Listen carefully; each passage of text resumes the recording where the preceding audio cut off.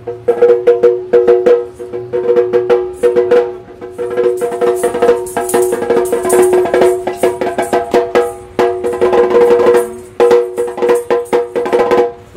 ಸ್ವಾಮಿ. ಶುಭ ಮುಂಜಾನೆಗಳು. ನಾನು ಯಾರು ಅಂತ ಗೊತ್ತಾಯ್ತಾ ನಿಮ್ಗೆ?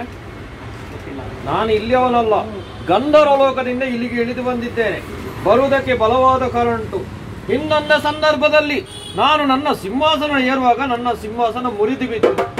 ಕಾರಣ ಏನು ಅಂತ ಕೇಳಿದಾಗ, ನನ್ನ ಪ್ರಜೆಯೊಬ್ಬ ಭೂಲೋಕಕ್ಕೆ ಹೋಗಿ ಸಾಮಾನ್ಯ ಅಂಟನ್ನು ತಂದು ನನಗೆ ಸಿಂಹಾಸನವನ್ನು ರಚಿಸಿದ್ದಾನಂತೆ. ಆಮೇಲೆ ನಾನೊಂದು ಆಜ್ಞೆಯನ್ನು ಕೊಟ್ಟೆ. ಭೂಲೋಕಕ್ಕೆ ಹೋಗಿ ಯಾರು ಅಂಟನ್ನೇ ತರುತ್ತಾರೋ, ಅವರಿಗೆ ಸೂಕ್ತವಾದ ಬಹುಮಾನ ಕೊಡುವುದೆಂದು ಘೋಷಿಸಿದೆ. ಕೊನೆಗೆ ನನ್ನ ಪ್ರಜೆಯೊಬ್ಬ ಭೂಲೋಕಕ್ಕೆ ಹೋದ ಅಂಟನ್ನು ತಂದ, ನನಗೆ ಸಿಂಹಾಸನವನ್ನು ರಚಿಸಿಕೊಟ್ಟ. ಅಯ್ಯ, ಸ್ವರ್ಗಕ್ಕೆ ಇಂದ್ರನಿದ್ದರೆ ಶೋಭೆ, ಚಂದ್ರನಿಗೆ ನಕ್ಷತ್ರಗಳಿದ್ದರೆ ಶೋಭೆ, ನಿಮ್ಮ ಅಂಗಡಿಗೆ ಅಂಟಿದ್ರೆ ಮಾತ್ರ ಶೋಭೆ. ಯಾಕೆಂದ್ರೆ ಭೂಲೋಕದ ಜನರಿಗೆ ಇದರ ಕೆಲವರಿಗೆ ಅರಿವಿಲ್ಲ.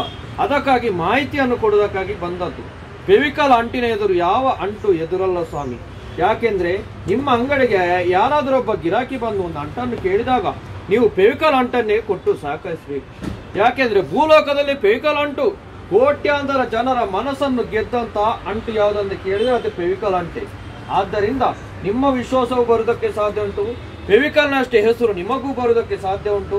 ಅದಕ್ಕಾಗಿ ಕೆಲವು ಜನರಿಗೆ ಸೂಕ್ತವಾದ ಮಾಹಿತಿಯನ್ನು ಕೊಡುತ್ತಾ ಫೆವಿಕಲ್ನ ಬಗ್ಗೆ ತಿಳಿಸುತ್ತಾ ನಾನು ನನ್ನ ಲೋಕಕ್ಕೆ ತೆರಳಬೇಕಾಗಿದೆ. ಆದಷ್ಟು ಬೇಗ ನಡೆಯುತ್ತೇನೆಂತೆ?